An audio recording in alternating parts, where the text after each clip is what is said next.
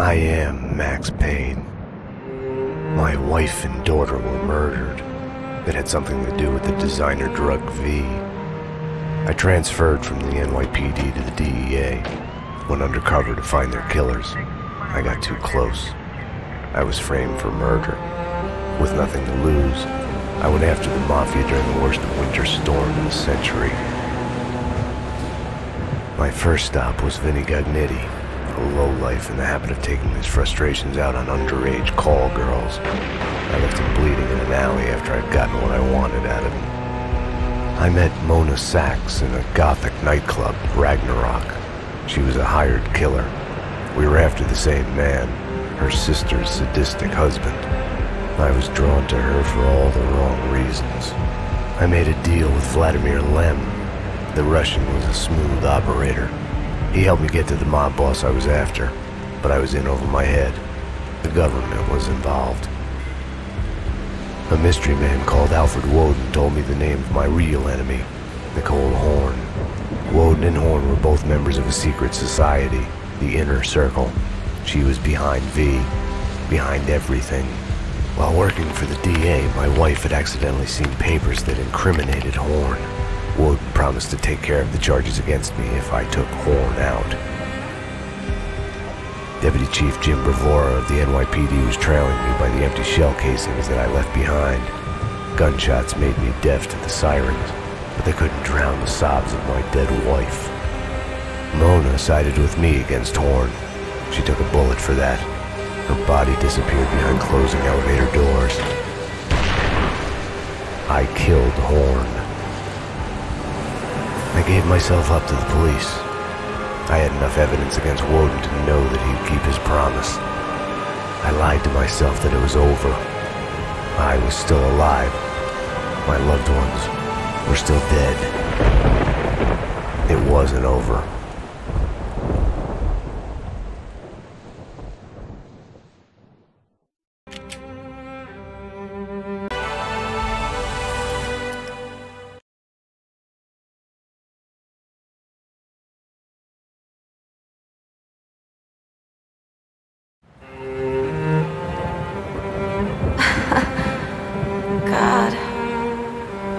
Turned out to be such a damsel in distress.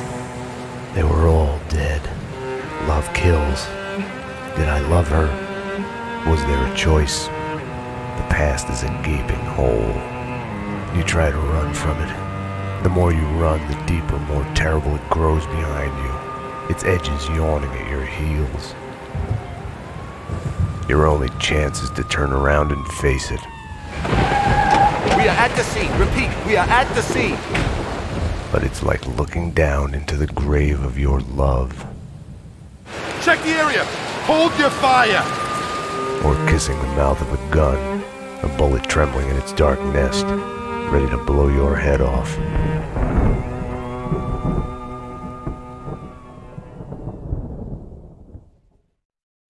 We're losing him. Multiple gunshot wounds, pupils blown, head trauma, God only knows what else. shock. Start two large bore IVs, get him to ICU. He's not responding. This guy is a train wreck. We're losing him. When I woke up in the hospital earlier tonight, I thought it couldn't get any worse. I opened my eyes, and everything slid into focus. She was dead. I was hurt. My crime, what I had done, was like a hungry pit behind me. I had to run, get as far away from it as possible. The world was out of joint. I was hallucinating. I had to get away.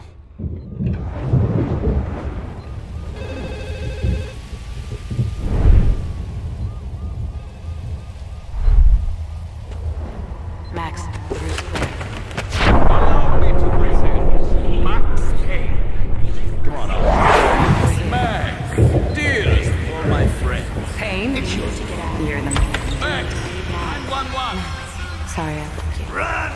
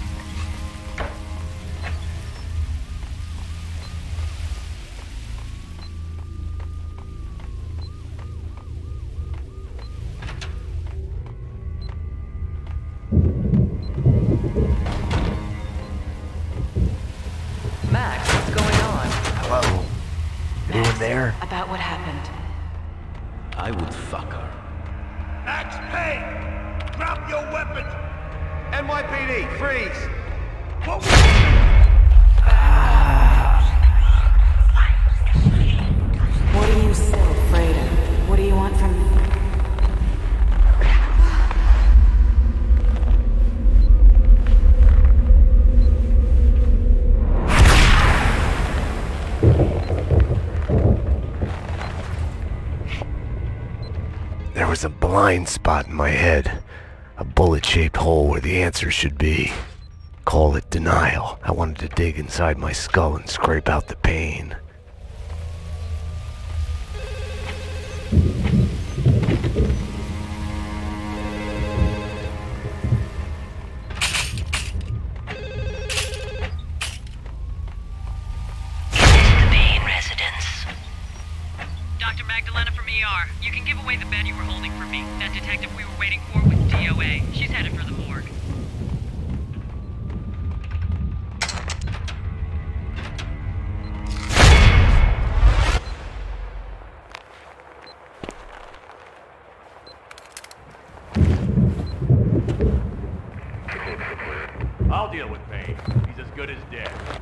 Freeze, NYPD! Found him!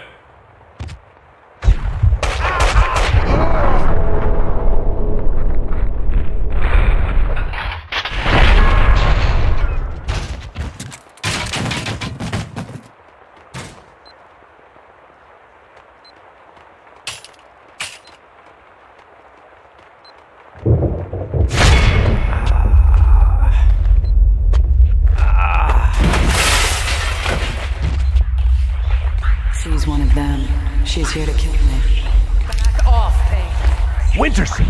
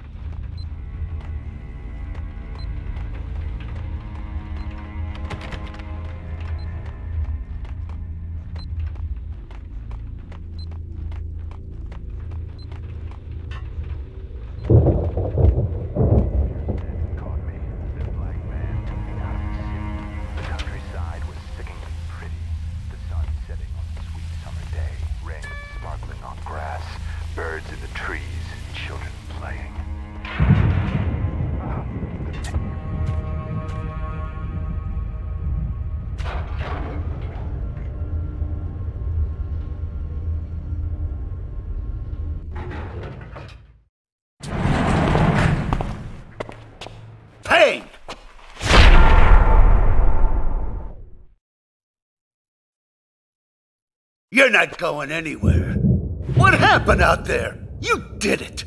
Internal Affairs was breathing down my neck. Did you do it? You killed her. No, I can't. Uh,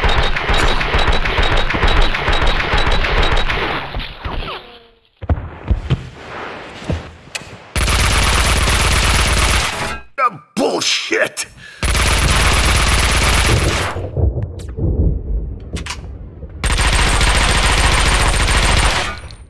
Damn! They were after me. It was my fault. You can't run from your past. You'll end up running in circles. Until you fall back down to the same hole you were trying to escape from. Only the hole's grown deeper.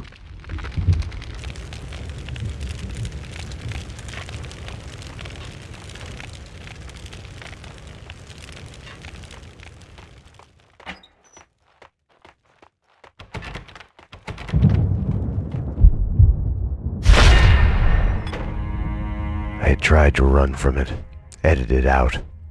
Winterson was dead. I was a murderer.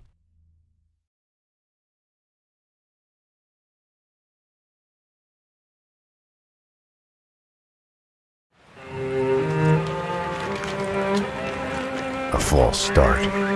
The hospital bed wasn't the beginning. It was past the point of no return, a fatal choice already made, and it would get worse before the end. The past is a puzzle, like a broken mirror. As you piece it together and you cut yourself, your image keeps shifting, and you change with it. It could destroy you, drive you mad. It could set you free. You, inside. Drop your weapons and come out with your hands above your head. You'll see the choices you didn't know you'd made, like staying at work late to chat with a friend, instead of hurrying home to your family. Fan out, people! Circle around! Cover all the exits! Kissing her, I think of the cold laws of cause and effect. Where are those extra units? Call the Central. We need every available unit here now. I am afraid, but I start again from the beginning. Trace my own steps to the scene of the crime.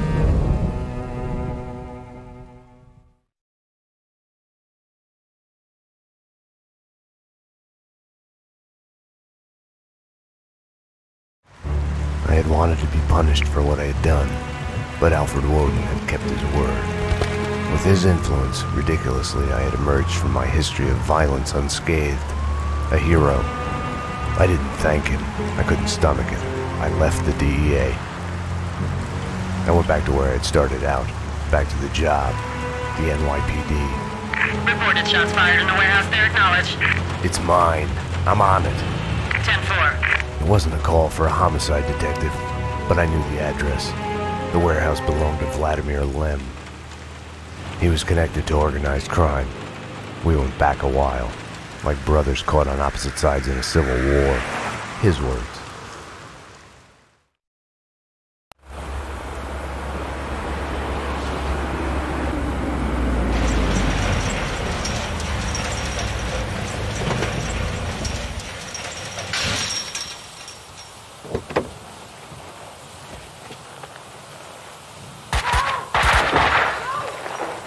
I need backup. Unknown number of armed perps inside. Possible hostage situation. 10-4, backup is on its way. I'm going in.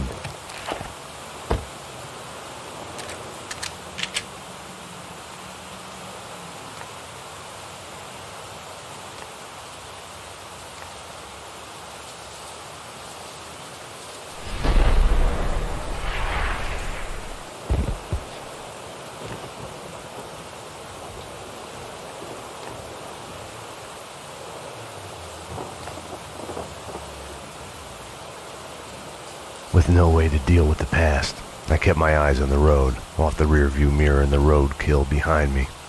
I chased lesser mysteries, other people's crimes.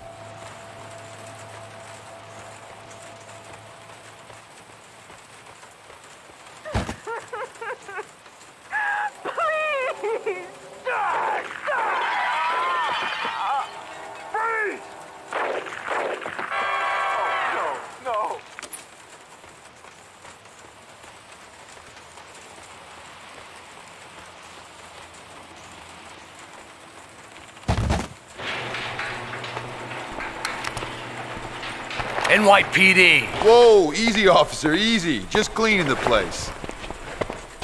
Come on, officer, it's all legit. I work for the Squeaky Cleaning Company. You didn't hear anything suspicious just now? No, no. Oh, wait! you mean the gun workshop upstairs? Take me there. Move. Sure, officer, if that's what you want. You know, officer, you cops got it easy.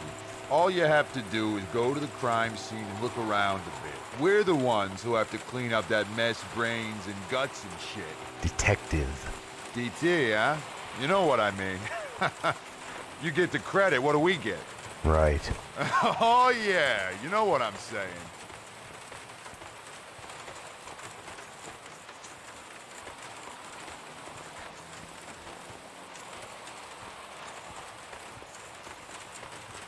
After you, detective.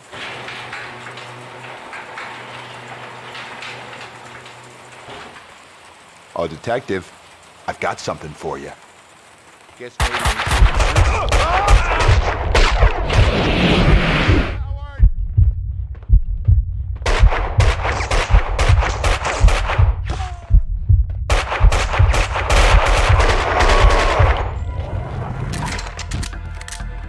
Were masquerading as cleaners.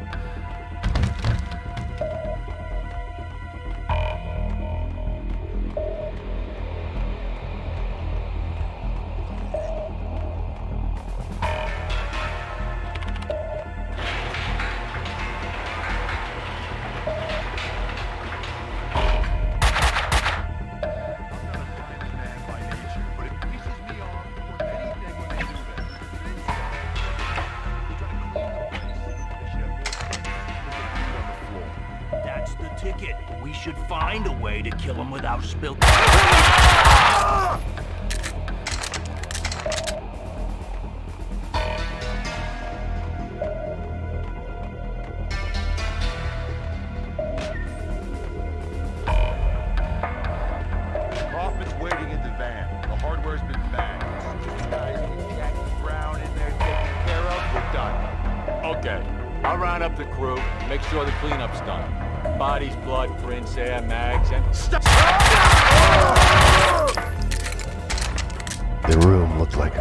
Storage, but it had been cleaned out.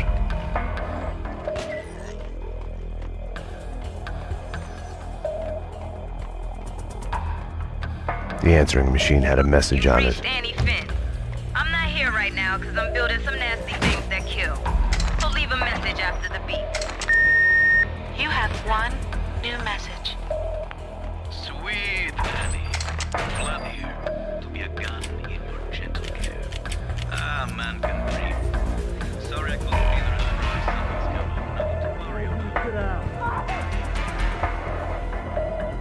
Enough chit chat. Finish her.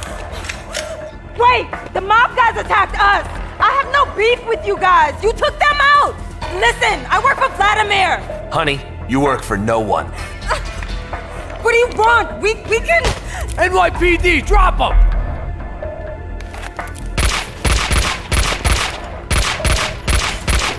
Finish her! Oh god, no! Like all the bad things in my life, it started with the death of a woman. I couldn't save her.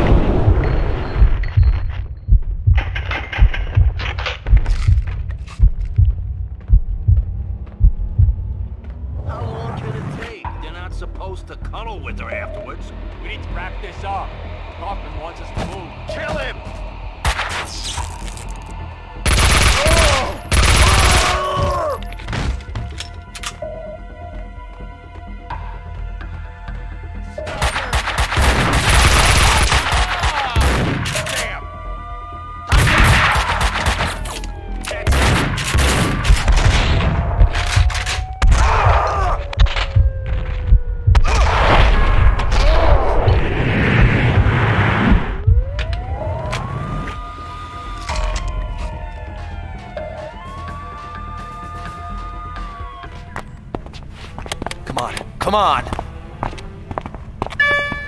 Finally. Hey!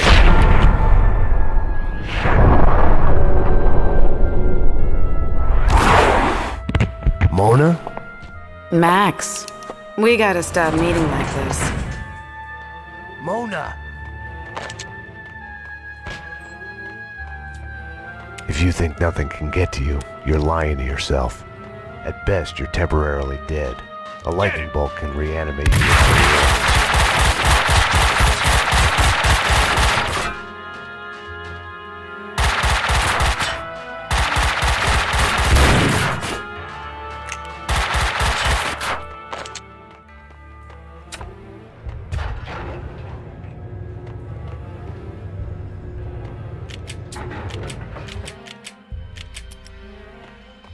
My backup had arrived, but the cleaners were slipping away, run for it.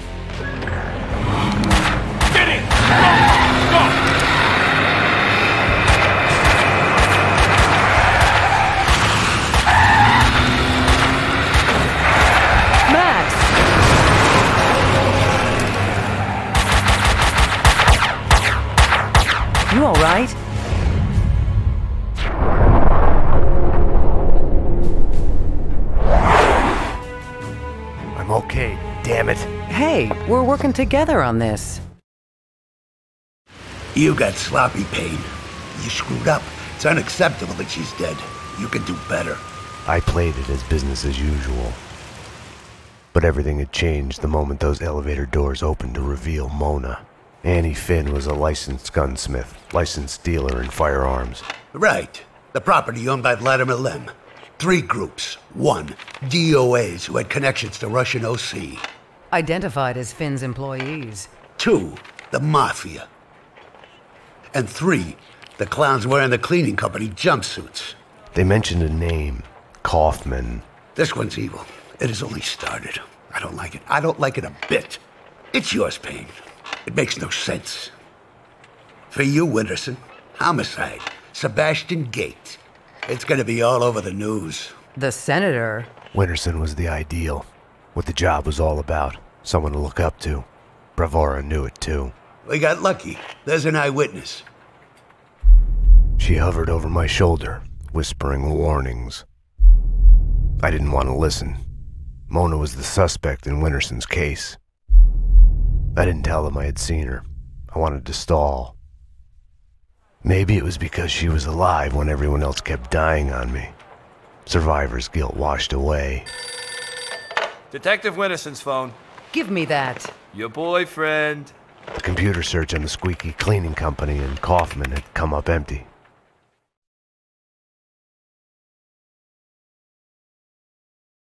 I needed to talk to Vlad, get his version, be the bearer of bad news on Annie Finn. Vlad had bought the old Ragnarok nightclub. He was renovating it into a trendy restaurant, Vodka. Mona's appearance had triggered a dislocation, schizophrenia. I felt elation, but with it, fear that all the past evils had come along for the ride.